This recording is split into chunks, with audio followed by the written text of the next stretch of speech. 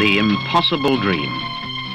This is the story of Hans Tholstrup, whose impossible dream was to be the first man to circumnavigate the vast continent of Australia alone in an open powerboat. Hans Tholstrup, 25-year-old adventurer, born in Denmark, now living in Australia.